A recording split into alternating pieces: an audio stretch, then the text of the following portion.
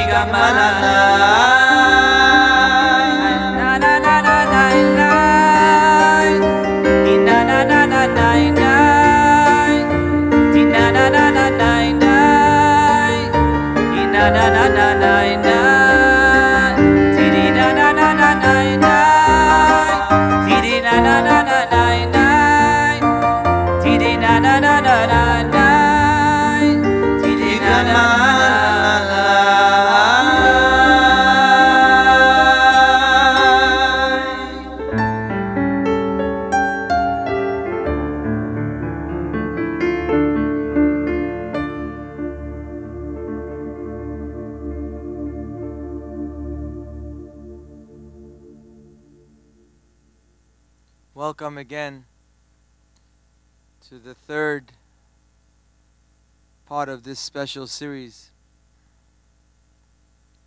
Moadim Lesimcha. Wishing everybody a good holiday to Skula Shanim Rabot.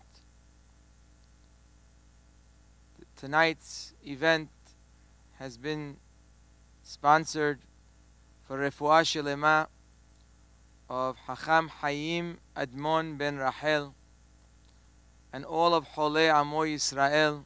They should have Refuah Shelema Bekarov. This was done by the rabbi's students, Rabbi Admon Nahum. Hashem should give him Refuah Shelema. Also, also unfortunately, we have to mention that it's for Le'ilui Nishmat. It's in memory of all those neshamot, all the people that have left us over the past few weeks It's been a difficult few weeks. Like we mentioned last time, in a way, it's difficult to come here and do this. But we know that we have an obligation, an obligation A of the holiday, it is Hol Moed. Plus, we have to awaken Rahameh Shamaim. And we get here to get we, we gather here together tonight again. A to sing to Hashem and B to pray to Hashem that He should give refuah shelema to those who need it. He should give peace of mind to those who are worried, and He should have an aliyat neshama for all those who left us. We start by singing the Hallel. We're going to be singing the Hallel. We want to thank the Salem brothers again for making this so special. They're going to be singing the Hallel, the last part of the Hallel. The part that we usually sing together in the Bet Knesset. The Hallel actually are chapters of Tehillim that describe the close relationship that Hashem has to Am Yisrael, how He has displayed that through the years. But the last chapter, the last perek, Mina Metzar Karatiyah, it talks about what that connection is supposed to lead up to. That connection that we have with Hashem is supposed to lead where we live a life of bitahon. We live a life where we fully trust in Hashem. Like we say, mina metzar karatiya. When there's troubles out there, I call to Hashem. Yes, I make my hishtadlut. I make my effort to do whatever I need to do, but I know that it's all in the hands of the Creator. Mina metzar. When I have troubles, karatiya. I only call to Hashem. I only have trust in Him. Now we say, Bamirhav ananiya. Hashem will open the tzara, will open that narrow road and it will become wide. He will answer me. That is why the shofar that we blow in Rosh Hashanah, or the place we blow from, is very small, it's very narrow, tsar. But the sound comes out from an area that's wide, rahav. We call to Hashem when there's tzarat. That's what Am Yisrael knows how to do. That whenever there's tzara, we know there's only one address. And this perek of Tehillim is an expression of the bitahon that a person has, the trust that a person has in Hashem. David HaMelech tells us in Tehillim something amazing. He says, Rabim machovim larasha, that a wicked person has a lot of pain inside of him. Even if on the outside you may not see it. But a person who lives a life of rish'ut, has a lot of pain that resides within him. Rabim machovim larasha. But then he says, Ve'aboteach badonai. But the one who trusts in Hashem, Hesed yesovevenu. He will be surrounded with kindness. The question is, what is the beginning of the pasuk that talks about a rasha? And the end of the pasuk that talks about a person who trusts in Hashem. How are they connected in the same pasuk?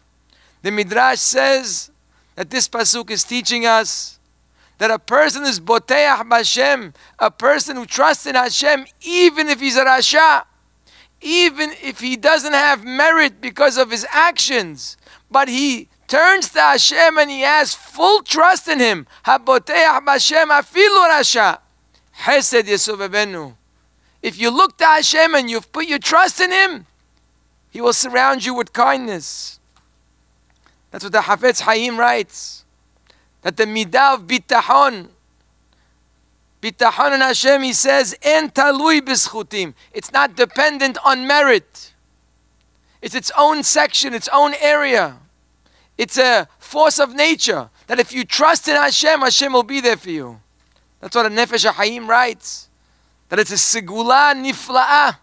He says there's a wonderful sigula lehaser will batel me'alav a person should remove from him all the dinim, or if he has any kind of judgment against him in Shamayim, to remove them.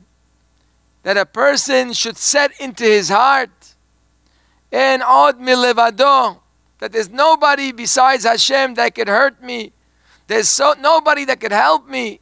I'm, I'm completely tied into his hands. A person who has those feelings in Od Milevado, he says there will be a segula nifla'a, an amazing segula to remove them. And the purpose of our tefillot and the purpose of all the tzarot actually is to bring us close to Hashem. Hashem wants us to call out to Him because that is the purpose of our life. Lehit'aneg al Hashem, to have pleasure by being close to Hashem. So actually, when we have bitachon, this is the purpose of all the tzarot. Sometimes in life we get lost, we fall asleep. Hashem sometimes sends us a reminder, and that reminds us of who we really are in the hands of. That is the final perek of Tehillim. That's where we're supposed to get to. So we're going to be singing together the parts of Mina Metzar. Each one will be done in its own song. And we hope that we will all get an aliyah from it. Bechavod.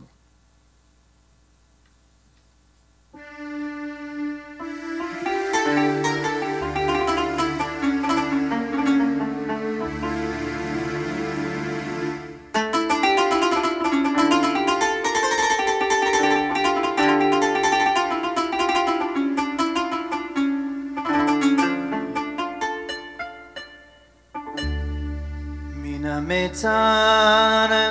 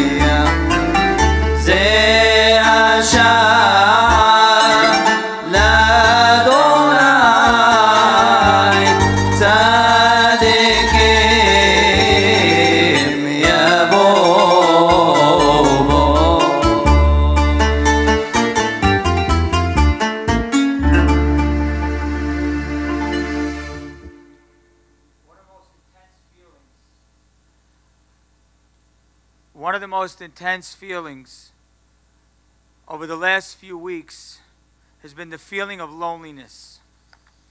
People who made Sidarim alone or made it just with a husband and wife, where initially they expected to have many children and grandchildren. People that are lonely, sick in the hospital by themselves, people with beautiful families people who lost a loved one and are now home without a father or a mother. And then those that are mourning right now and they're not allowed to begin now, so they're waiting for their mourning to begin by themselves, where siblings can't even be next to each other. One man told me, he says, I went to tell my mother that her husband, my father, passed away, and I couldn't give, even give my mother a hug.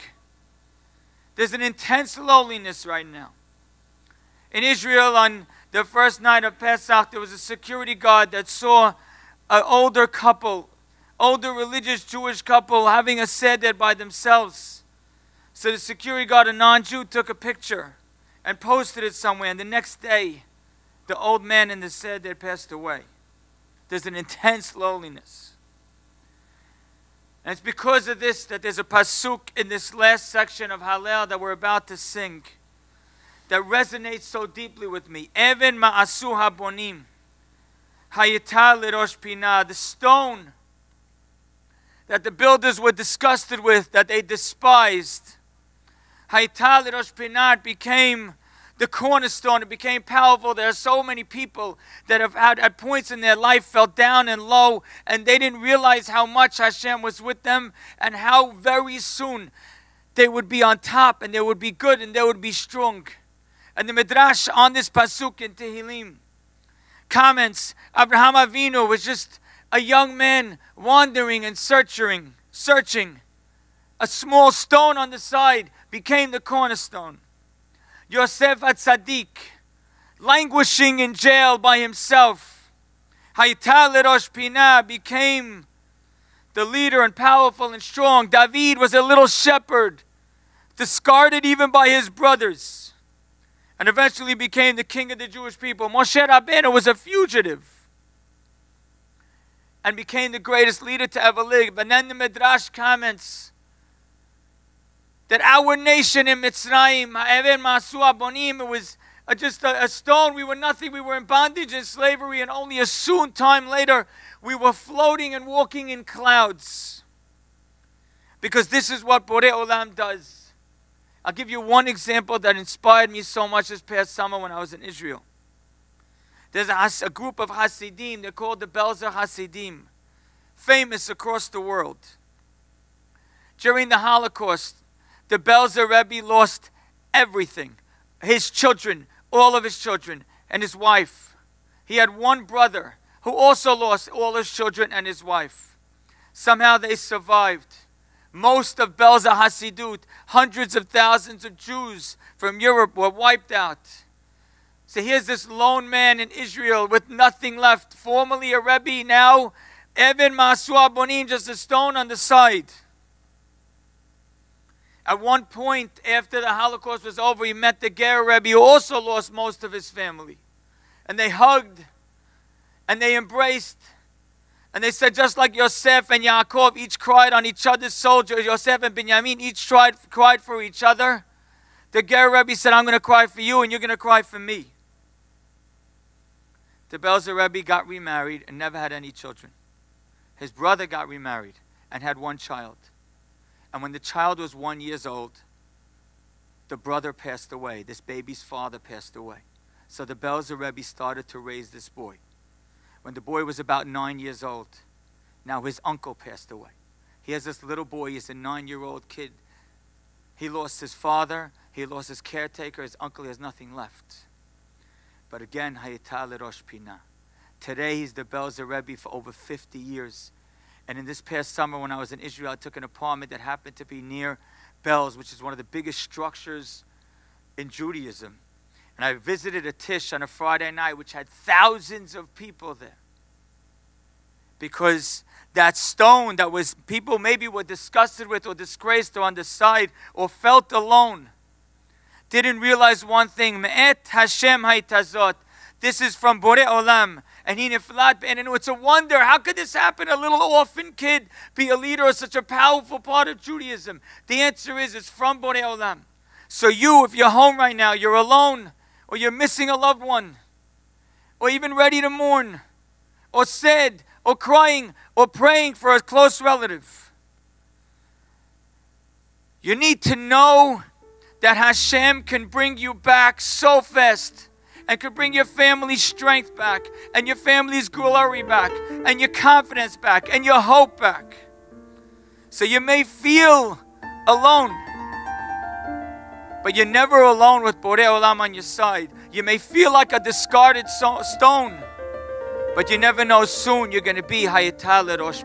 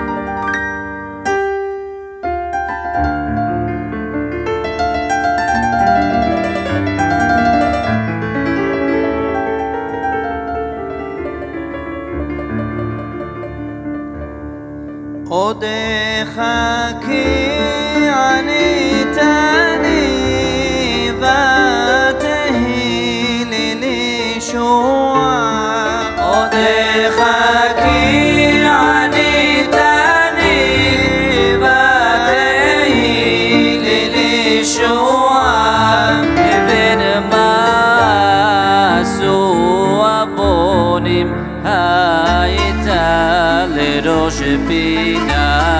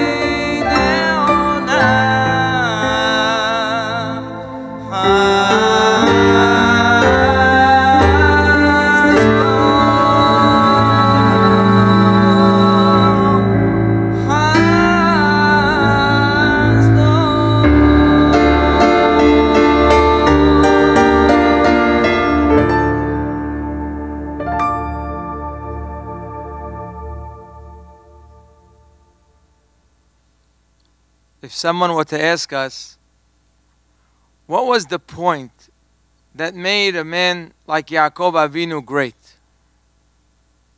I think we would have a very hard time answering that question. Being that Yaakov Avinu had so many qualities, how would we know which one of those qualities made him Yaakov Avinu? However, the beauty of the Torah is that it's able to give us guidance. Hashem knows which are the points that make a person great. He could be full of accomplishments like a pomegranate. But Hashem knows how to identify the shoresh, the root that all those accomplishments came from. So, what was so special about Yaakov Avinu? There is a beautiful midrash that comments on a pasuk that talks about when Yaakov was told by his parents, Yitzhak and Rivka, that he should escape and go live in a different country, go to live by Laban, his uncle. And the pasuk says that Yaakov's reaction was Vayishma Yaakov el Aviv ve'el imo. Yaakov heard, he listened to his father and to his mother. Vayelech Padena Aram, and he went to Padan Aram. The midrash on this pasuk is bothered. Why is it necessary to tell us that he listened to his father and mother? We know that his father and mother told him to go. And we see Vayetze Yaakov Mebeer Shava. Yaakov went. So if they told him to go and he went, so he obviously listened. Why does the Pasuk have to say Vayishma? Yaakov heard, he listened to his father and mother. Says the Midrash, a most powerful idea. There's a Pasuk that Shlomo HaMelech says in Mishle Derech ish yashar be'enav. That every person, his road in life, the way he does things, in his eyes are perfect. Of course, people make mistakes along the road, but the general outlook of anything he does in his eyes is perfect. His, his derech of being a husband is perfect. His derech of being a father is perfect. His derech of being a friend is perfect. His derech of being a Jew is perfect. The way he attends Bet Knesset is perfect. Everything he does is perfect. Again, he may make mistakes. He may make mistakes and he'll agree to that.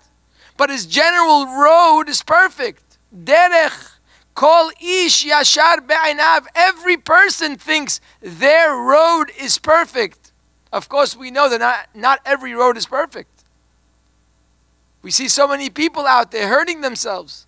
We see so many struggles out there caused by the person himself. So many unhappy people. So for sure, not every derech is correct. That's for sure. So what's a person supposed to do? How can he know he's doing the right thing? How can he know he's on the right derech? If every derech he's on, he thinks it's perfect. That's how Hashem made the world. That everyone thinks their way is the way. Says Shlomo HaMelech, the solution is Veshomeya le'etzah hacham. The wise person is the one who takes advice from people who know better than him, people have experience, people who care for him, people who have proven they know how to live life. Shomeya le'etzah hacham. You don't know everything there is to know. Because life is full of experiences. And every age you learn something, but then you move on to the next age, and that's a new situation. You figure out kindergarten, now you're in elementary school. By the time you figure that out, you're already in high school. By the time you get that, you're already out there in the world. Then you get married, that's all new. Then you have children, that's all new. Every step of life till the end is new. Life is full of challenges. So, how are you supposed to know what to do? It's all new. It's new for me, it's new for you. Says Shlomo HaMelech, Shomea le'etzah. You have to be a person who asks advice from people who are older than you, people who are smarter than you. Ask your parents, ask your grandparents, ask your great grandparents, study their books. Study the great rabbis' thoughts and ideas. Study the lives of the great people that preceded us. Study about the lives of Abraham, Yitzhak, and Yaakov. Study the advice of Hashem. Who can give you better advice than God Himself? Says the Midrash, you know what made Yaakov special? Because when Yaakov heard the advice that his father and mother gave him to leave and go live by Lavan, he didn't agree. He didn't feel that was enough reason to leave his parents and his country to go live with the crook Lavan. He thought to fight Esav, I could fight Esav. I'll get bodyguards. We have many dangers in the world. We don't just run away. We figure it out. Yaakov felt he wanted to stay. But then says the pasuk, "Vayishma Yaakov el aviv el imo." Yaakov understood that just because he thinks his derech is perfect, it may not be perfect. You better listen to people who know better than you. He understood that Yitzhak and Rivka knew better than him. They were older, they were more experienced, they, was, they were wiser. And he took their advice. Says the Midrash, this is the greatness of Yaakov Avinu. And that's the downfall of Shimshon, says the Midrash. Shimshon also had a situation where he asked his father he wanted to marry a certain girl. And his father told him, No, not for you. Shimshon comes back to his father and says, No, ota kahli. I want that one. Kihi yashra be'enai. That's the one who I see is right for me. Says the Midrash. He followed his own intuition when he had the advice of someone greater. What makes a great person is that he listens to advice. The Soreru More, that child who's off the derech, what makes him off the derech? What's unique about him? What's so destructive about him? Pasuk says, Enenu shomeya bekol aviv of kol imo. He doesn't listen to his parents. His parents love him. His parents want what's good for him. But he thinks, well, I know better. The song that we're going to sing now is a beautiful song about a tree, an old tree that has so much wisdom, so much to share. It's the tree of the Avot, the tree of the Imahot, the tree of our own parents and grandparents, our own great rabbis. This tree sees a little leaf that just came into the world, Ale Katan. And while it's looking at this little leaf, it tells him, I know that you think you are a know it all, you think you have everything figured out. You're so sure of your opinions and of your way of life. But maybe you should learn to listen to me. I have a lot of experience for you. I have a lot to share with you. Our parents and grandparents, our avot and imahot have so much wisdom, so much that they can share. But we have to be open to listen. A beautiful song about the advice of this tree to this young leaf that's starting in this world.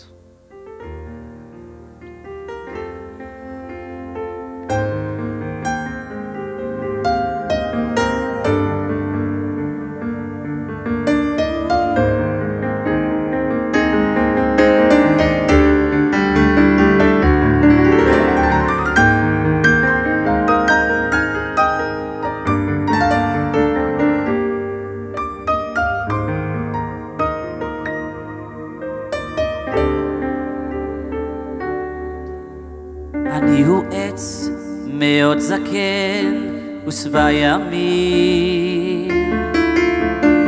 ראיתי כבר רוחות הזאת ורעמים. אתה עלה קטן מתנועע, בטוח בעצמו הכל יודע. קח איתך צידה לדרך את ניסיוני אל תזלזל, אולי זה כל מה שיש לי כי יש ימים יפים, הכל פורח ויש שעות קשות, הכל בורח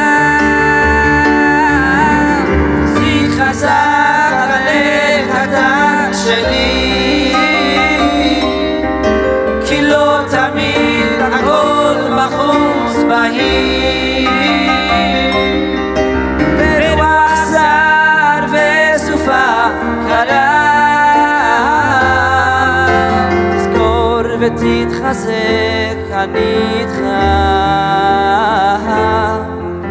תחזיק חזק הלב הקטן שלי.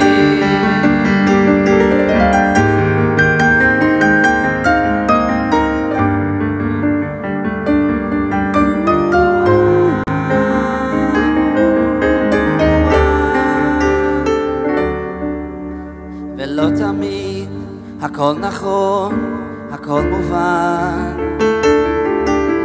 האם זה לא שיעור חשבון, זה גם מבחן. עכשיו עלה קטן, הכל רגוע. אך מרחוק אולי ענן מגיע. קח איתך צידה לדרך את עסקתי חצי הכוס היא מלאה, תזכור תמיד. וכשהשמש אל הים שוקעת, אל תדאג, אוי מחר היא שוב זורחת.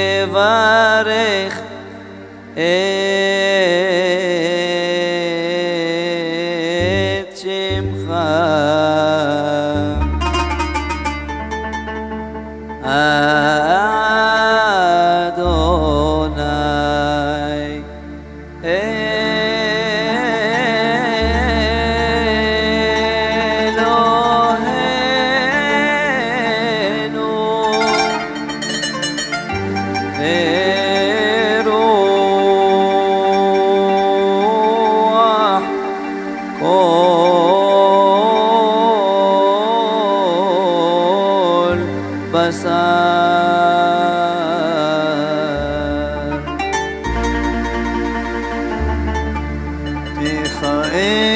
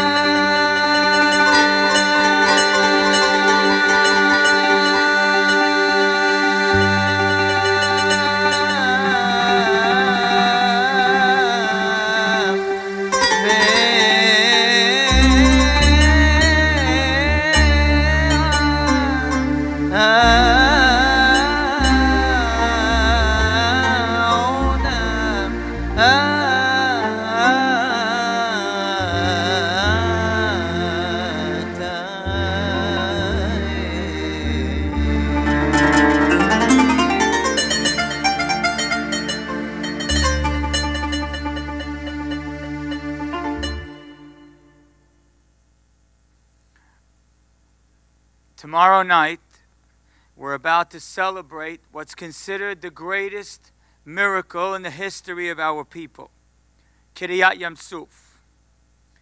Yet, Rabbi Yaakov Emden writes, almost 250 years ago, that there's a greater miracle than the splitting of the sea. He says the greatest miracle in Jewish history is the fact that we are still here today the fact that we still stand, the fact that we'd endure, endure through every challenge, every wind, every storm, every hurricane. And part of what we held on to during those challenging times were the words of the song we're about to sing. I believe with a firm belief as the Rambam writes in his 13 principles, that the Mashiach will come, and even if he's delayed, that means even if I don't know when he's going to come. Im hakelo, it doesn't matter, I still wait and I still hope. B'chol yom sheyavo, that he can come on any day. It's a song that's given our nation strength through Cossacks and crusades, through peaks and deep valleys. It's known that there were cattle cars taking thousands of Jews to concentration camps. And in those cars, at times, they would sing this song. There were groups that have sang this song in gas chambers.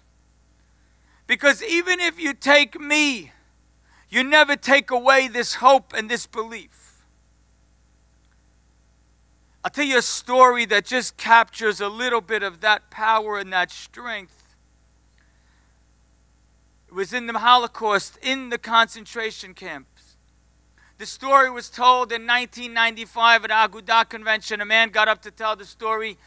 It was the Agudah Convention that was celebrating the 50 years since the conclusion of the Holocaust. He says, Let me tell you the story. His name was Yosef. He says, I was in a concentration camp.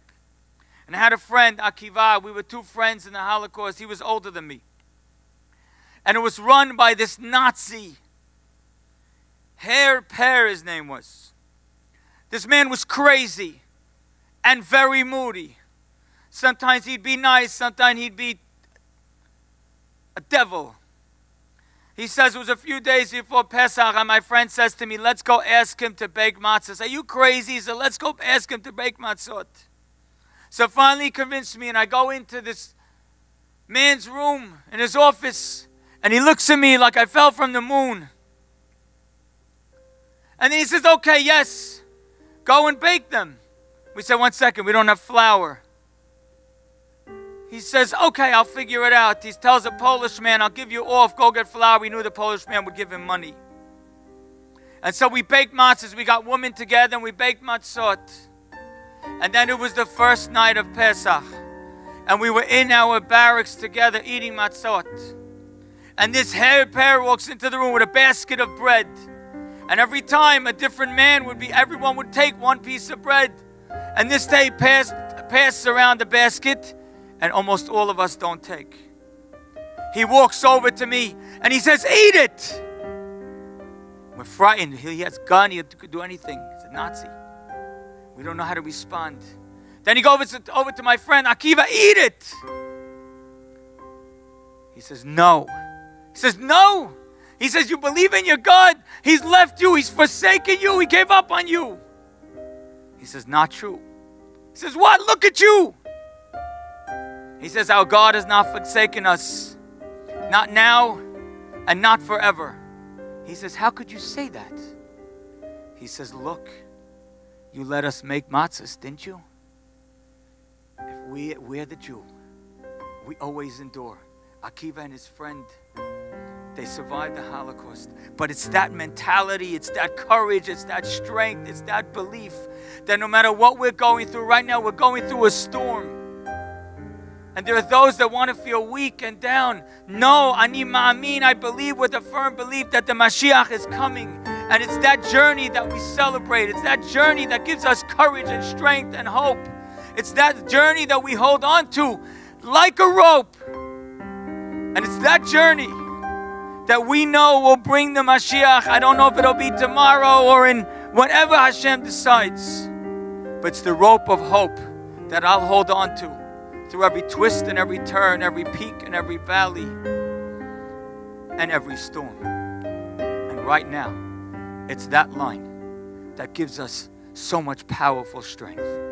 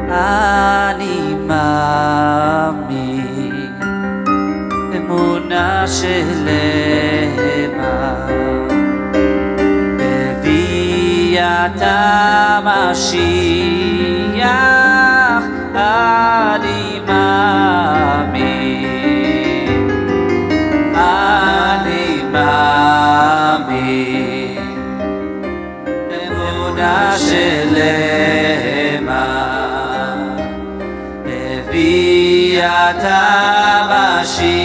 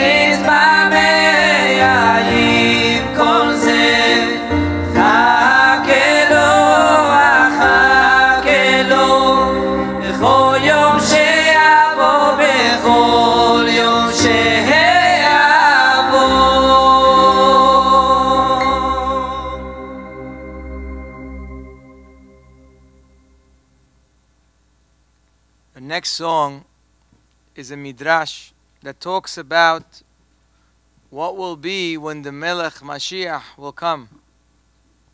It says that he will stand on the roof of the Bet HaMikdash and he will say the following to the Jewish people. He will say, Anavim, humble ones. Anavim, humble ones. Higia zeman geulatchem. The time of redemption, of your redemption has come. This midrash is not only telling us about what will happen, but it's instructing us about how a person is able to get redemption, not only in the time of Mashiach, but in their own lives. We have Goel Yisrael that we say every day. It's not only referring to the Mashiach, it's referring to a person being redeemed from different issues that is going on in his life. The instruction is that to merit Ge'ulah, you need anava, you need humility. The holy Ramban, one of the greatest men that ever lived, when he wrote a letter to his son, he told his son, You should always be thinking about this characteristic of anava, of humility. He says, Shehi midat tova, mikol midot tovot. There are so many beautiful characteristics. Which is the greatest one, the greatest virtue of all? How would we know? But the Ramban says to his son, the greatest virtue is humility, anava. So always think about it. Always try to see if you're living by it. Anava is sometimes misunderstood as weakness, as someone who's hunched over, who has no voice to talk, doesn't have an opinion to share, very humble person, very weak person. That is a mistake. Because the Torah tells us that the most humble man that ever lived was Moshe Rabbeinu, alav shalom. Moshe Rabbeinu was a man who spoke up. He was the man who went in front of Paro Melech Mitzrayim. He's the one who went to fight with the angels to bring down the Torah. He's the one who rebuked Am Yisrael when he saw necessary. He was a leader of Am Yisrael. Yet he was considered humble the most humble. Humility is not weakness.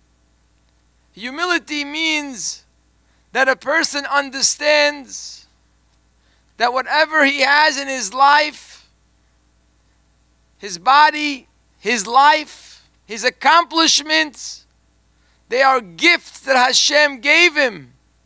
Yes, he could take credit for the effort and the choice that he made. He made a good choice. Take credit for that.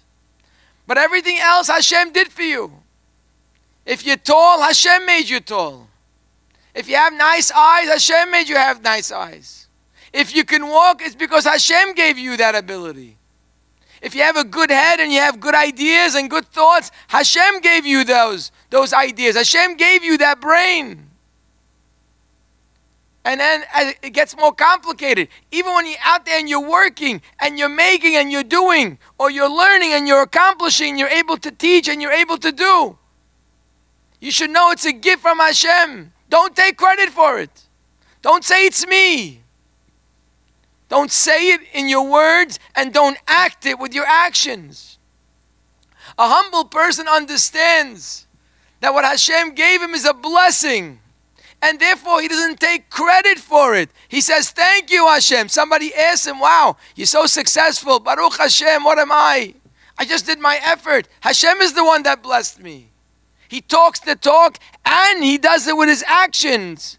You see the Anav, he's out there giving money. He's out there helping people because he knows it's not his money.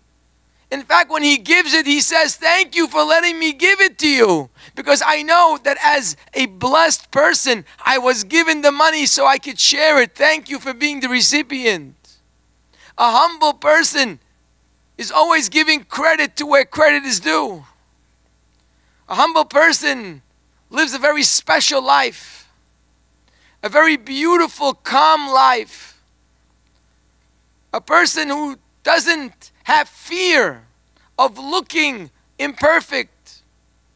A person who will ask his friend, You have any good advice for me? If you ever see me do something wrong, please tell me. That's what a humble person is. Yes, a humble person is right now gets on the phone and tells the people around him, not everybody, but tell a few trusted people. Please, when you see I'm doing something wrong, please tell me. I may not realize. I'm not perfect. A humble person doesn't look to take credit. If he could do things quietly without people knowing, he's happy to do it. He knows it's his duty to give back what Hashem has given him. A humble person is not concerned about being appreciated enough because he knows he owes so much for what he has received. A humble person is not trying to be above others. You will see him talking to every type of person. There's no classes for a humble person. Every person is a gift. Every person is a tselem Elokim, is an image of God. And he treats them that way. He treats the rich and the poor the same respect. He cares for them the same. He will be there for his friends no matter where and who they are.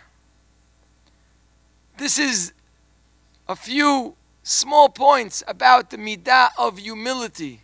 We just read the Haggadah of Pesach. The Haggadah is to speak about our exodus from Egypt.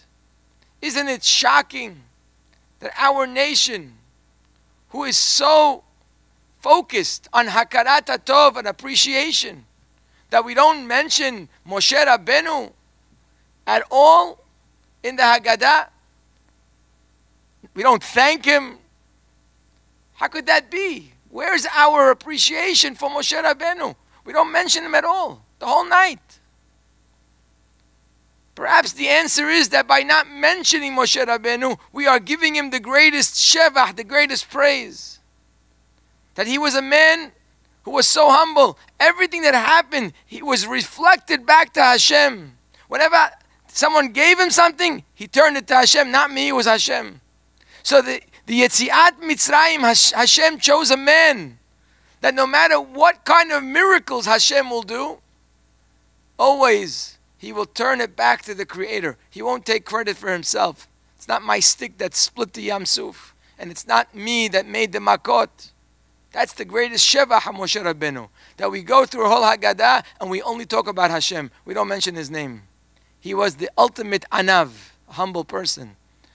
A humble person lives a beautiful life of tranquility, a life of peace of mind. A humble person. You will find him when Mashiach will be saying, Anavim, Anavim, humble ones, your time of redemption has come.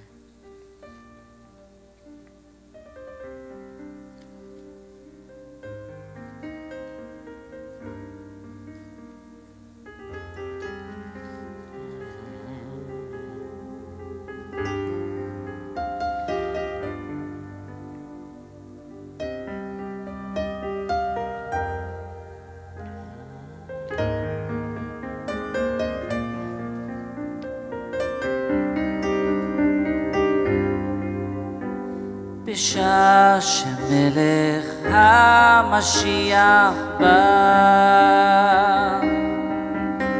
בשעה שמלך המשיח בא עומד, עומד על גג, גג בית המקדש, משמיע לישראל ואומר בשעה שמלך המשיח בא. בשעה שמלך המשיח בא. עומד על גג, גג בית המקדש, משמיע לישראל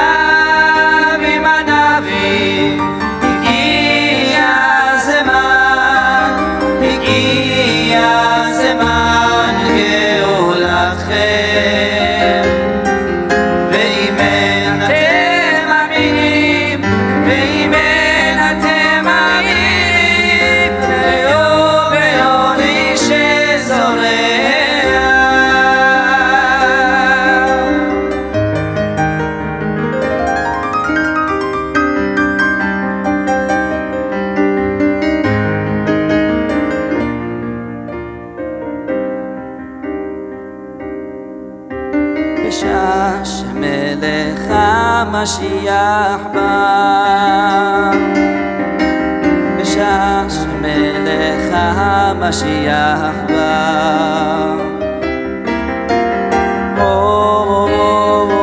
על גג, גג בית המקדש, משפיע בישראל ויאמר בשעה שמלך המשיח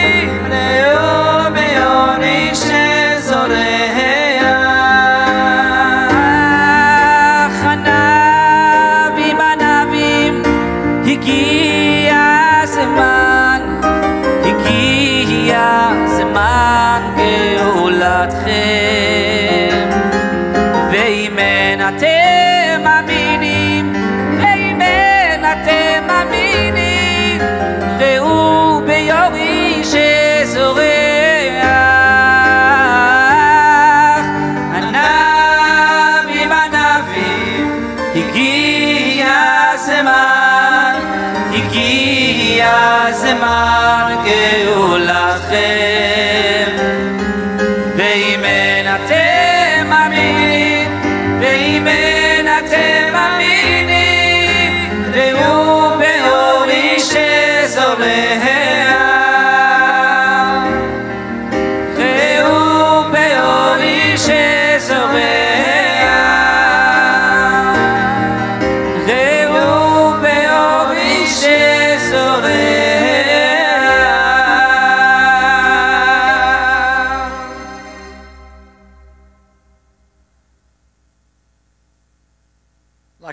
beautiful flower in the middle of the wilderness, there's been some beauty in our darkness. And I think that beauty has been, in part, appreciation. I'll tell you a little story of a couple lived in Israel a few years ago. And they were grandparents and they were in the kitchen, and their grandson was sitting in a high chair in the dining room. And as the grandparents were in the kitchen, and ex- their expensive chandelier fell in the dining room on top of their grandson's high chair. And they come running inside, frantic and frightened, and they start removing the debris and all the broken pieces. And after they remove it all, they realize that Baruch Hashem, their grandson, was in perfect condition. He was fine. And a little while later, they made a seudah, they made a celebration, and they invited their rabbi, one of the elder rabbis of Israel. And the rabbi comes to the event, and he says, I want to show you the beauty of Borei Olam. Look at Hashem's greatness. He wanted you to lose the chandelier. But you see, if your grandson was not in the room and the chandelier just fell straight on the table and broke, it would have been expensive. You would have lost a lot of money. You would have been very upset and disappointed and frustrated. We took a big loss. But because your grandson was right there and it fell on top of him, and Baruch Hashem, he was fine. Instead of that moment being such a moment of sadness, it's a moment of celebration. They're even making a party in its honor. Sometimes Hashem brings challenge, despair, and destruction. But what happens in the process is we start to appreciate everything. Just like that family appreciated their baby and appreciated that Hashem took care of their little grandson. We start to appreciate every nuance of our life. The song we're about to sing is recognizing that beauty. Its chorus is Melech Malchei Melachim. Hashem was the King of Kings. Todah lachayim. Thank you for life, but not just for life. Al osher, al bechi, al tzachok, on happiness. Even thank you for tears. Thank you for laughter. Even when life is hard, thank you for my second half. Thank you for my wife. Thank you for my oldest son. Thank you for my daughter. Thank you for Shabbat. So many people went into Pesach this year so nervous and anxious. Would they be able to do it? And then they did it. And a three day holiday, the respite that it gave us, the strength that it gave us, the joy that we gave us. Todah, Borei Olam, thank you. Thank you for so many of these little things that we now cherish because we're living in a time that seems like darkness. We cherish a tear. We cherish laughter. We cherish looking into the eyes of our little son. We cherish holding the hands of our little daughters. We cherish watching our wife in action and watching my son learn. I cherish happiness, the small bits of it we get. I cherish tears. I cherish hugging my children. I cherish Shabbat. I cherish being alone. I cherish being together with my kids. I cherish seeing my father simply in his window. I cherish driving in my car and passing by my brother's home. I cherish talking to my sister on the phone. I cherish holding on to my in laws through Zoom. I cherish being able to teach my students. I cherish our rabbis. I cherish our families. I cherish our lives, our tears, our happiness, our joy, our strength, our courage, our togetherness when we're alone. Thank you on everything. Because like a rose in the middle of the wilderness, in this darkness, we gained appreciation for everything that we have from you.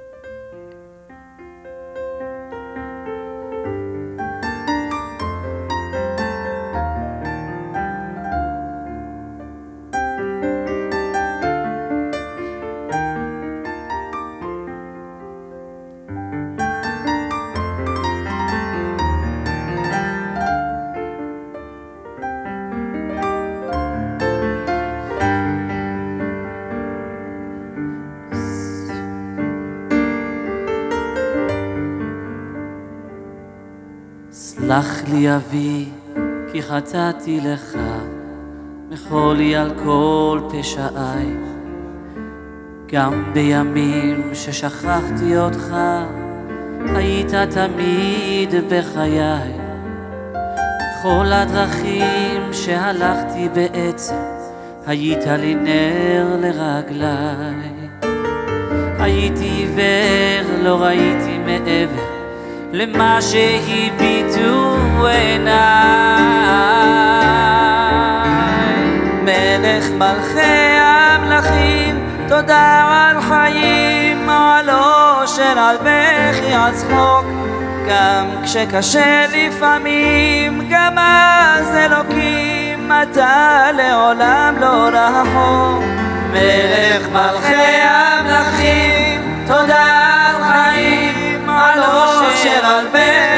בכי, על צחוק. גם כשקשה לפעמים, גם אז אלוקים, אתה לעולם לא רחוק.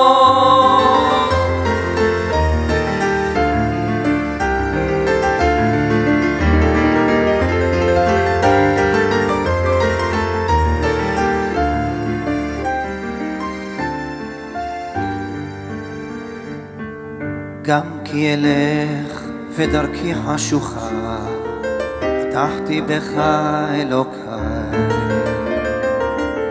חצי שני על בכור וילדה, תודה גם על אושר בלי די. תודה על חגים, על שבת ששומרת, שלא ייגמר לעולם. כל יום שעובר בדרכי לגן עדן, שיוויתי אותך מול העיניים. מלך מלכי המלכים, תודה על חיים, על אושר, על בכי, על צחוק. גם כשקשה לפעמים, גם אז אלוקים, אתה לעולם לא רחוק.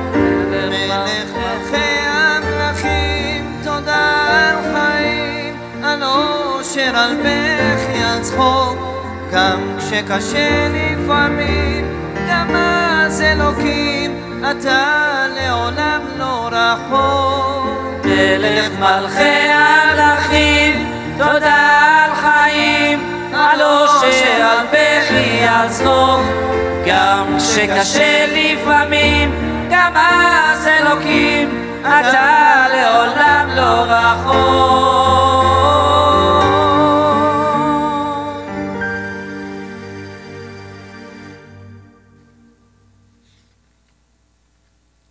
Such beautiful words. I'm so inspired by those words, especially after Rabbi Haber spoke. We do go through life sometimes like a blind person, And then through these situations, we wake up. As I hear the Salem singing, singing, I say to myself how appreciative I am. All of us are. That they spent hours and hours to make this production. This doesn't just come in an hour. There's a lot of preparation, a lot of thought that goes into it. We have to be so thankful that Hashem planted them in our midst. We have to thank their parents. When you see such beautiful children, you have to look back and say, Where's the tree that brought this? Their, parents are in Eretz Israel. They brought such a beautiful family. We have the zechut that Min HaShamayim, they all came here to join us. At least these, they have more Baruch Hashem. So appreciative of their inspiration.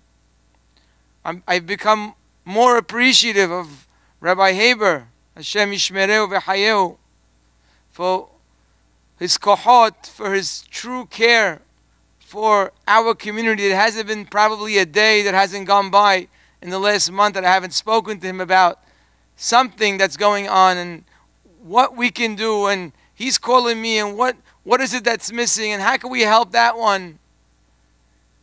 People who are thinking about others all day long. We're so appreciative. Todah. You know, when we thank Hashem, the way we know if we really feel that appreciation or it's just words is are we thanking the people in our lives?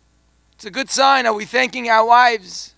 Are we thanking our children? Are we thanking our parents? Are we saying thank you, mom? Thank you, dad. I'm so fortunate to have you. If you still have a mother and a father, if you still have a grandpa and grandma, reach out to them. Tell them thank you with some tears. Thank you to all the people listening. I can't tell you how many messages that I've received. I know that Rabbi Haber as well and the Hazanim as well. So many messages we get after these events. You don't know how much hizuk it gives us. We know that people appreciate it. We know that people have inspiration from it. But we all need a shoulder. Sometimes we need a shoulder to cry on, and sometimes we need a shoulder to hold us. Thank you to all of you that have been reaching out to us and telling us nice compliments and nice words. It gives us hizuk. We have to use that strength today to help other people. Thank you, Hashem. Thank you for all you do for us. And let's thank the individuals in our lives that do so much for us. The next song we're going to sing is one that everybody knows the word Shir La Ma'alot Esainai Leharim. We're going to sing the whole thing. We sang a few weeks ago parts of it. I just want to take one portion of it that's so relevant to what Rabbi Haber spoke about, what I just mentioned. In this Mizmor, the Pasuk says, Adonai Shomrecha. Hashem watches over us. Adonai tzilecha al yad yeminecha. Hashem is our shadow. What does that mean that Hashem is our shadow? What are we supposed to walk away with when we say those words? We say this all the time. Hashem is our shadow. Rabbi Tzadok Kohen explains. Our shadow means that his relationship with us is like that to our shadow. When a person has a shadow, he raises his right hand, the shadow raises the hand. He lifts up his foot, the shadow lifts up the foot. Whatever he does, the shadow follows. Hashem tzilcha, Hashem is our shadow. What does that mean? It means that He will relate to us the way we relate to others. Like the Pasuk says, kamocha. Hashem says, love your friend.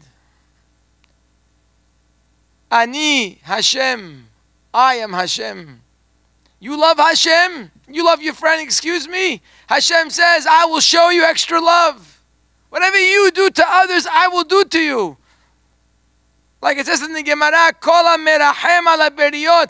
Those who have compassion on people. Merahamim alav min hashamayim. Hashem has compassion on them.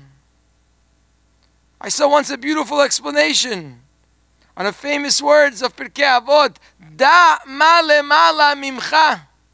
Simply it means know what's above you. Know who's above you.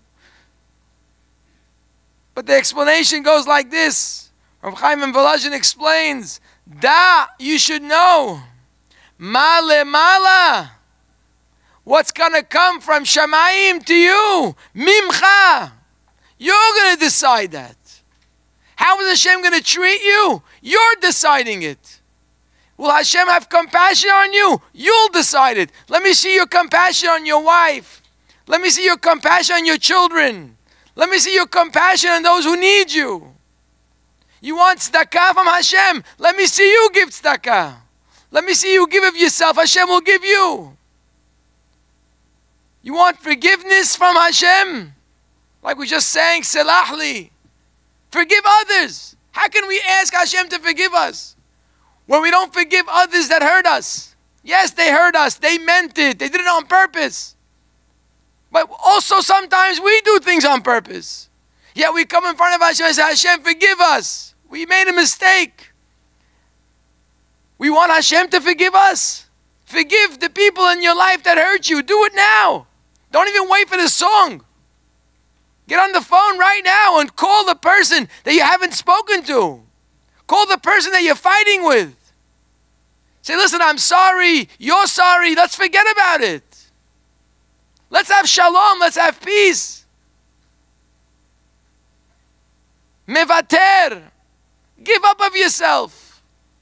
You want Hashem to give up to you? Give up of yourself to others. Hashem tzilcha al yad yeminecha. Hashem is our shadow. The way we are with other people is going to decide what Hashem will do to us. What a great time to use our kohot to reach out, to comfort others. There are a lot of people out there who need comfort today. To reach out to those who are alone. There are a lot of lonely people today. To reach out to friends and family and to reach out to perhaps enemies. To comp- competition, competitors. Reach out. Make a phone call. It'll be very meaningful to that person and perhaps even more meaningful to yourself. Hashem tzilcha al yad yeminecha. Hashem is our shadow.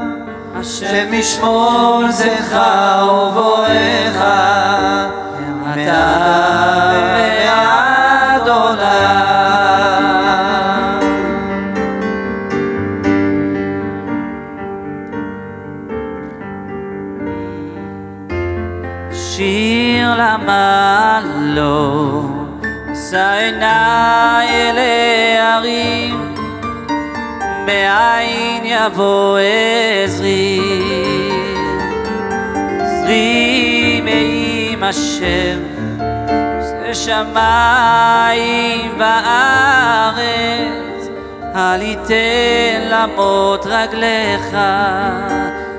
אל ינום שומרך הנה לא ינום ולא אישה שומר ישראל השם שומרך, השם צילך על יד ימינך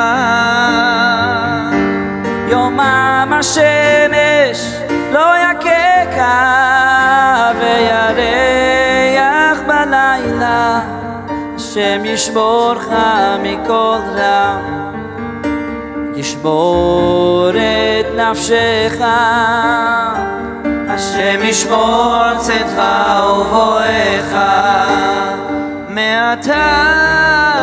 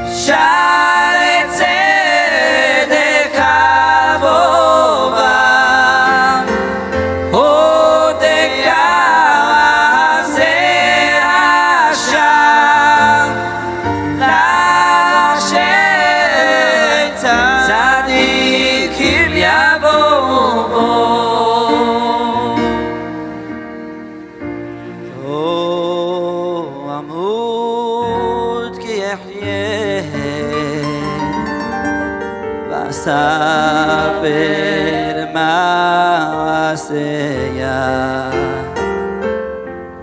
יחסור ישרניה ולמוות לא נתנני לא אמות כי אחיה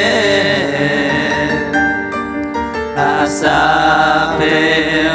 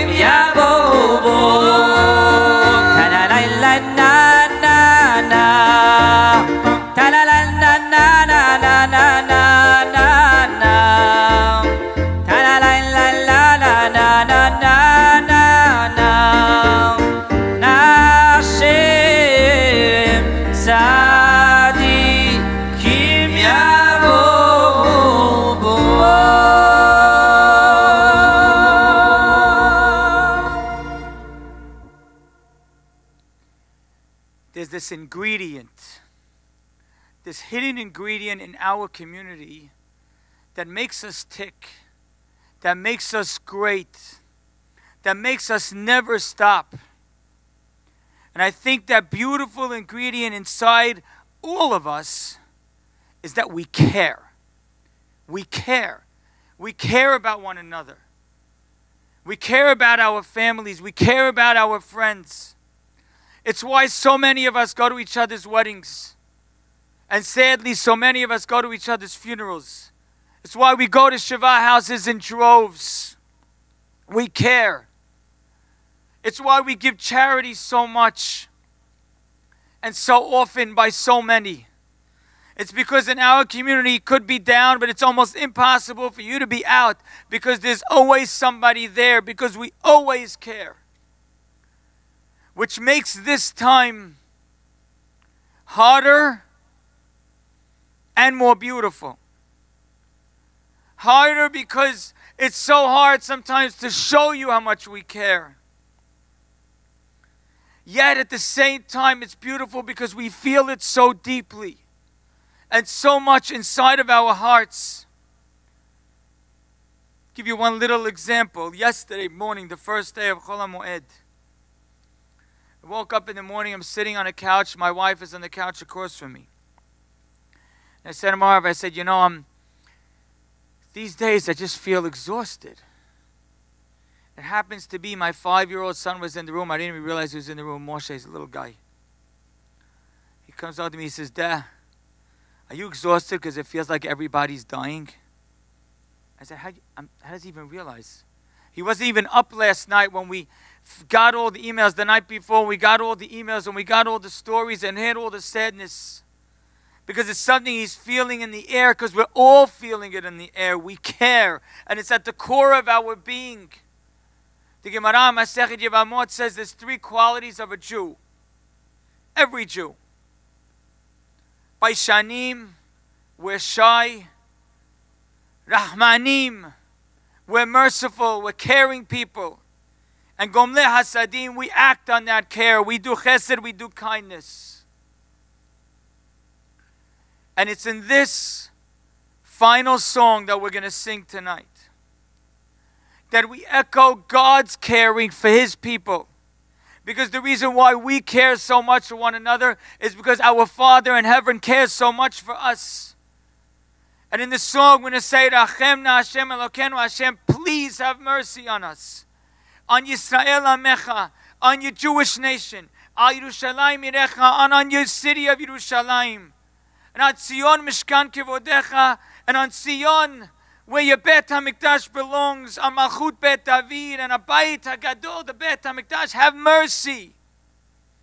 Hashem, so in this time, I said it's hard for us because it's hard for us to show how much we care. But there's a beauty because we have been. People have been giving charity. People have been supporting yeshivot in schools and taking care of poor people. Last night, someone told me there's a woman in the community who's sick. Her brother posted on a chat, My sister is really sick. Pray for her. 1,000 people responded. A thousand people because we care. Another man opened his own organization to give out money to widows in need at this time. And before the holiday, he gave. Others gave out to rabbis in the community, school teachers, and they were given. Others gave donations to shuls. Others made calls, like the rabbi said, and Zooms and text messages because we care and we care and we care. But if we care, if we really care, then the way we show it most is if we don't just ask Hashem to build the Beit HaMikdash, we build it for Him. Because the rebuilding of the Beit HaMikdash is not only up to Him, He made it up to us. Borei Olam says to every one of us, when you change, when you're ready, that's when I'll be ready. So when are you ready? When are you ready to show me that you, how much you care? Tehillim is nice, charity is nice. Something. Be a different person. Because if we have if we go through this crisis by just weathering the storm, then we don't deeply care. Because that's not what a Jew does. A Jew changes. A Jew is different. A Jew has different midot, really different. A Jew cares by one another by changing how I pray for you, changing how I pray every day, changing how I learn. And not I'm going to change. Right now, I'm committed to change. You can have four holiday meals in a day from today, sitting around with the same people that you already had six or seven meals with. What are you going to talk about? Maybe you'll talk about this. Talk about how you're going to change. Talk about how you're committing to change, not just ideas that pass around the table and then get forgotten. Commitments. I'm going to change how I dress. I'm going to change how I celebrate. I'm going to change how I pray. I'm going to change how much I learn. I'm going to change how I act in business. I'm going to change how I treat my employees. I'm going to change how I respect for real. And ultimately, it's because of this midah of how much we care that we did this event tonight. It's because we love you so much. It's because we care about you so much. It's because we're feeling your pain so deeply. Even those in homes that are all healthy have barely smiled. I want to end with this little story and then we'll hear the beautiful songs. Beautiful final song I mentioned the Holocaust a few times. I'll mention it one more. The Holocaust was over. And there was this colonel, he was a Jewish man, and he came to the DP camps.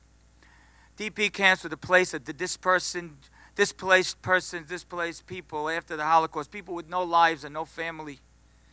And he came to one particular camp, and this camp was unique because this camp had children.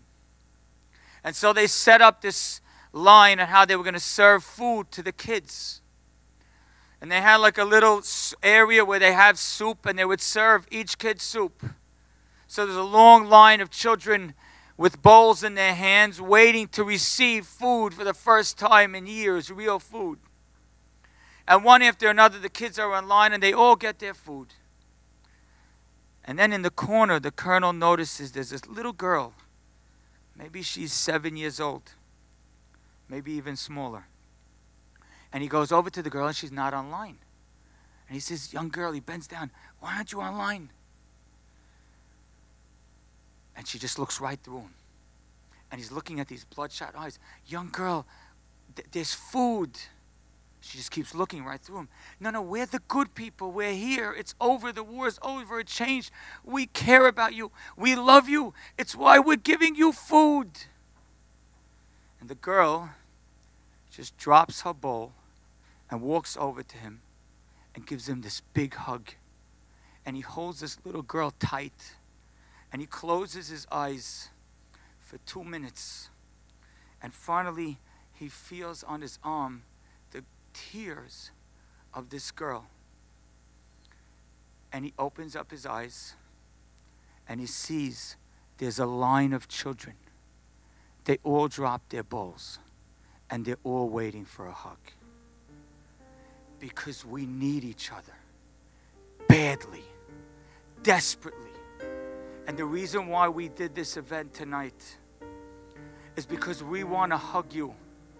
Rabbi Yedid, yes, we've been on the phone almost every day, but I wish once I could just drop the phone and give you a hug for how much you care about Am Yisrael, how much you care about your community, how much you care about your students and those that aren't your students, how much you care about the old and the young.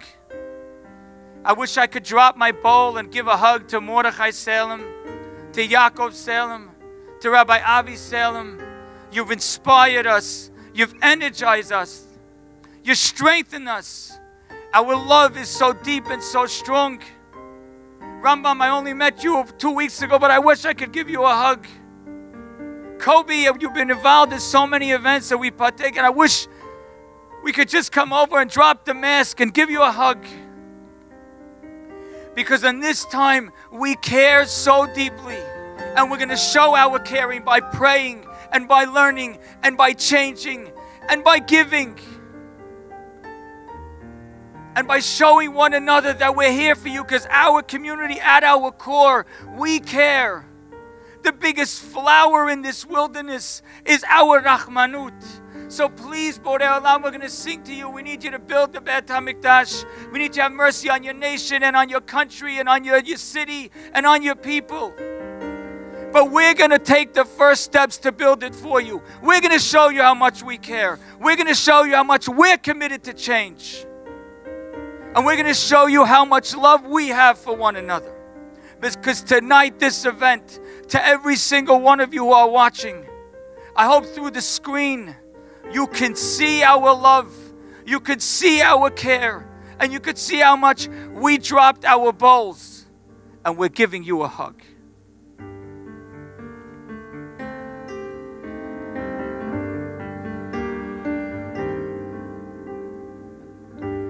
ירחם, ירחם נא השם אלוקינו רחם על ישראל עמך ועל ירושלים עירך רחם רחם רחם. ירחם, ירחם נא השם אלוקינו רחם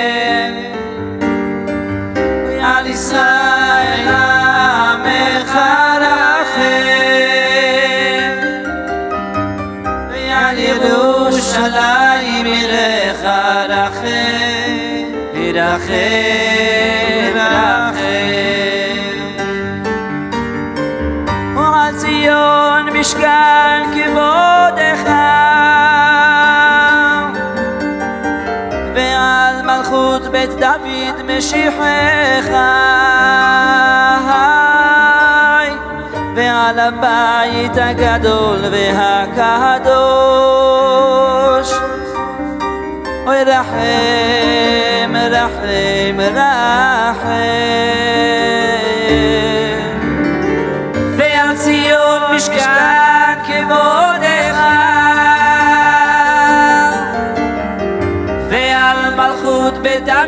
משיחך ועל הבית הגדול והקדוש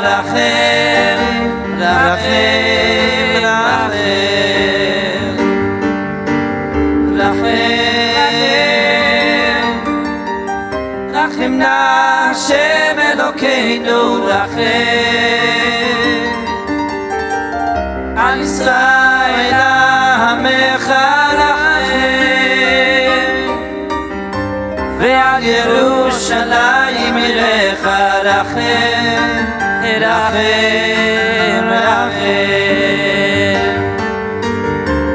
יא ציון משכן כבודך, ועל מלכות בדוד משיחך. ועל הבית הגדול והקדוש, ירחם ירחם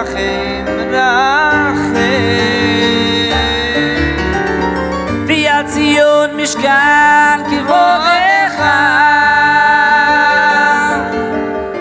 ועל מלכות בית דוד משיחך, ועל הבית הגדול והקדוש. רחם, רחם. לכם.